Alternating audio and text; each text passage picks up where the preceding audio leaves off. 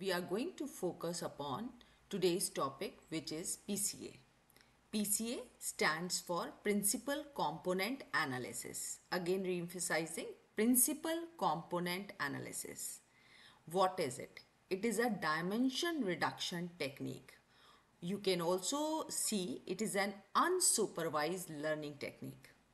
Now, why it is used? It helps in reduction of large set of data. I am going to show you one example where we are going to reduce this large set of data into number of manageable variables. Now, from where we have taken that data set? The data set is taken from the Kaggle website. We will going to provide you the URL in the description. Now, what is the objective? The objective is to reduce the variables into smaller number of manageable data set using PCA technique. As I said, PCA is actually dimension reduction technique and how we are going to do it, let us go to the IBM SPSS dataset. This is our SPSS dataset on power consumption which is taken from Kaggle website. You can see we have approximately 33 variables over here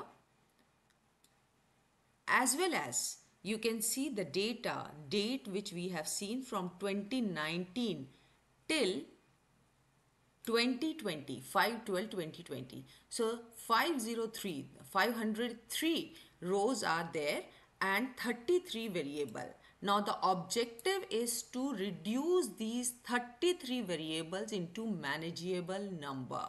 And how we are going to do it, we will going to show step by step now. Click on analyze, in analyze dimension reduction and then click on factor. Now you can see this dialog box and select all these variables on the right hand side.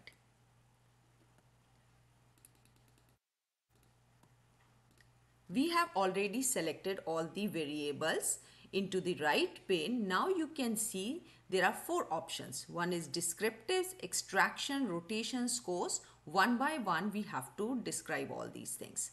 Now let us click on descriptives. In the descriptives, the most important part where you should focus is KMO and Bartlett test of sphericity. Click on this. What is this? KMO stands for Kaiser-Meyer-Olkin test and Bartlett test of sphericity.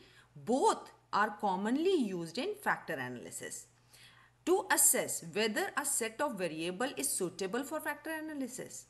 KMO value range from 0 to 1. A value closer to 1 indicates that the variables are more suitable for factor analysis meaning that there is more common variance among the variables.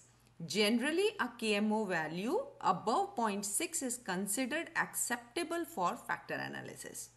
Thus, the KMO test assesses the overall suitability of variables for factor analysis while Bartlett test checks whether there is enough correlation between variables to justify using factor analysis. Continue. Let us focus on second part which is extraction. In the extraction, you can see by default, the method is principal component. Now we will going to talk about eigenvalue and scree plot. We need both scree plot and eigenvalue. So a scree plot provides a visual aid for deciding the number of factors or components to retain in factor analysis or PCA based on the eigenvalue of each factor or component.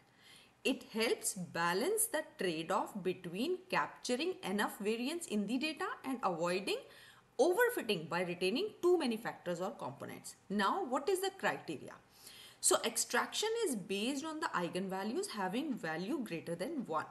Higher eigenvalue suggests that the corresponding factor or component captures more variance in the data. Now, what we can do? We can click on the continue. Now, we have another option which is rotation. So in the rotation, we have lot of options. We are clicking on Varimax. Why?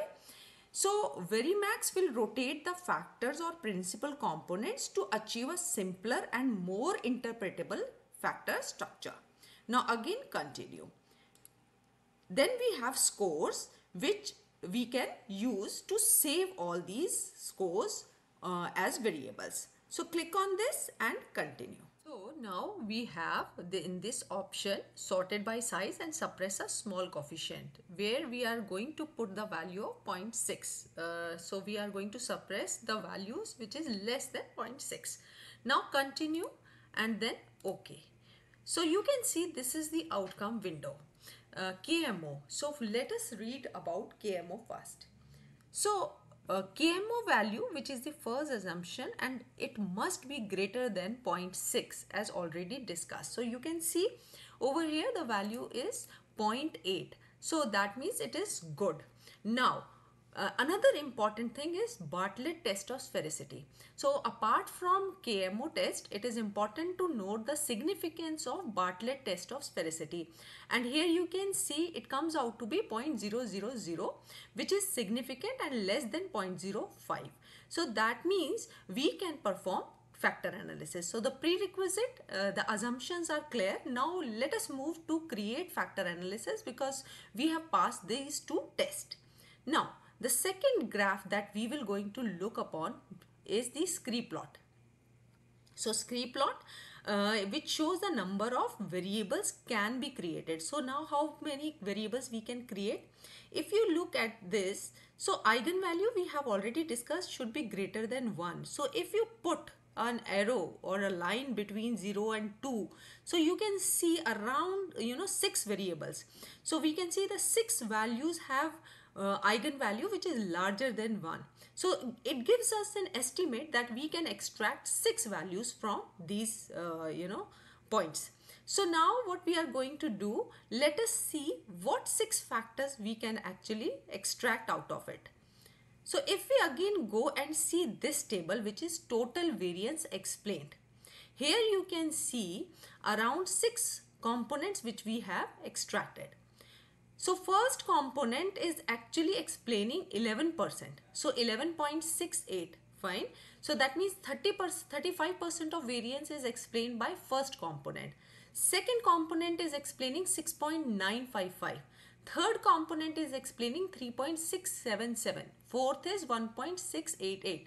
So uh, the idea is to get the factor which is greater than 1. So that is why uh, seventh component we will going to ignore and if you see the cumulative percentage that means 80% six factors are explaining 80% of the variance. So that means the contribution of other factors other variables is negligible and uh, you know we can ignore those variables. Now once we have decided that okay we are going to keep these six variables now what is the next uh, step? Let us read another table and here it is known as rotated component matrix. So now you will going to see the six variables values. So if you see the first component which we have created uh, in the power consumption these particular uh, you know cities are helping us UP, Rajasthan, Haryana, Chhattisgarh, Uttarakhand, Pondicherry, Sikkim, Meghalaya and Odisha and HP. So they are contributing in the first component and uh, we have also seen that they are explaining approximately 35%. Now, in the second component, which factors are coming? Which uh, cities? Andhra, JK, uh, then uh, you know you can see the other in Nagar Haveli, Uttar Pradesh, Bengal, Assam, right? And in the third component also you can see Andhra Pradesh and uh, all other uh, you know is also coming. Kerala, Tamil, Goa, Karnataka, MP and Tamil Nadu. Uh, then comes the another component. So this is how we have explained six components and based on these six component we have explained 80% of the power consumption. Now uh, another important point you must have noticed that we have saved it. So remember analyze, analyze then go to dimension reduction and then goes to factor. Here once we have decided that which scores we want to save what we are going to do we will click on the score and save as variables. Now once we will do OK let us go back and see our data. in this data set you can see how these factors yes so you can see these factors have come up so second time because i have uh, clicked twice or two time it is showing. But these are the factors for the first time which we have clicked. This is for the first time. Yeah, we have seen these are the values. So now what we have done? Out of 33 variable we have reduced it to the six factor. So now these six factors are going to be treated uh, as uh, compared to the 33 variables. Now uh, this is the end of the PCA.